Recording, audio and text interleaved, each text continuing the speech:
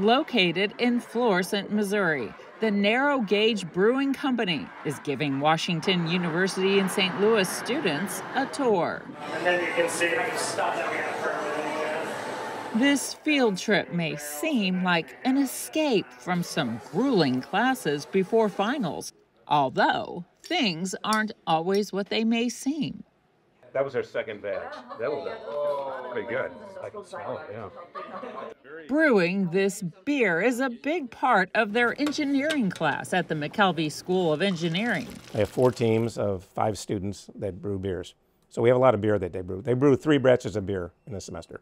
I was just surprised how many styles of beer there were. You could go a trillion different directions with every beer. You might end up with four and three quarters instead of five. This course is called Introduction to Zymurgy. So Zymurgy is sort of the art of beer brewing. And the course is designed for seniors in the Department of Energy, Environmental, and Chemical Engineering. When you're working with biologicals, so when we're working with yeast to ferment our beer, that's has this level of uncertainty that we're not really used to.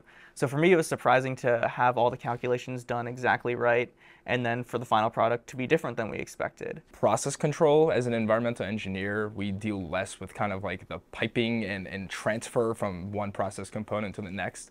Um, that's more so like the chemical engineers, that they, they, they, take like process control classes. This is really my first exposure to it, um, which has been really helpful in terms of getting a bigger idea of like what a system means in engineering. I'm the instructor in this class. Um, I actually started this class. The class was kind of an idea that students came up with about six years ago when they wanted to have a practical type of experience class to learn how to apply their knowledge of what they've learned in their classes. And they said, does anybody know how to brew beer? And I, I did. And I said, well, I could do this, uh, but you have to ask the university if they would allow that. And so this is, the students actually came in and, and petitioned the department if we could have a class like this. So, what looks like a cool class to take is actually hard work. The fundamentals behind brewing beer, many of which are chemical engineering and environmental engineering processes. Chemical engineering, we do things like extraction, concepts like heat transfer, and environmental engineering concepts. For one, I can say wastewater treatment. When you brew, you generate a lot of wastewater. So you got to make sure that's treated, reused, recycled as much as possible, and then, you know, treated properly before release. Even the tours are a learning experience. Actually, what you're going to find out when you go to Anheuser-Busch, their, their wastewater plant is just a large bioreactor. That's all it is. That's their wastewater plant.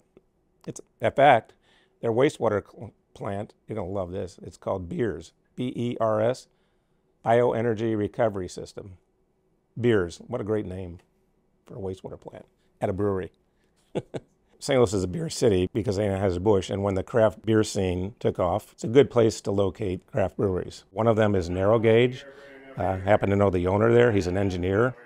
Our students end up doing a lot of things after they graduate, and one option for them is, of course, entrepreneurship. And we just want them to get an idea, being entrepreneurial, starting their own venture. The students are taking that entrepreneurial spirit to heart, developing some fun marketing and bottle labeling skills. So right now we're just trying to figure out what makes sense in terms of pictures. So we have the idea for a nice like forest backdrop um, with the name of our beer, which is going to be Misty IPA. So we want some like fog, some haze, and we want it to like reflect the name.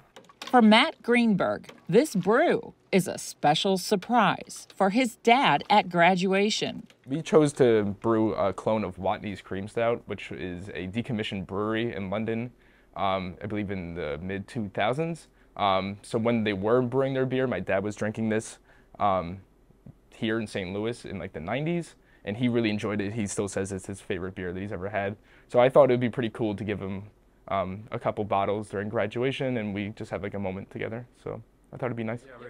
Yeah, so cheers, cheers to, to the graduates, their families, and their innovative beers it's their graduating semester, so it's kind of like a, a nice way to end their college career at WashU.